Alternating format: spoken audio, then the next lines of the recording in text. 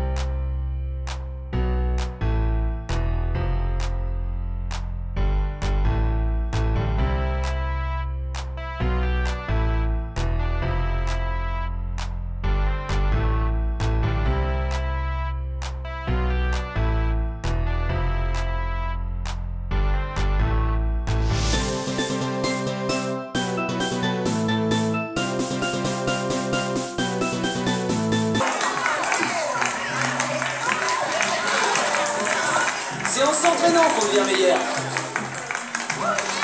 Ce que je viens de faire, c'est de la balle classique efficace.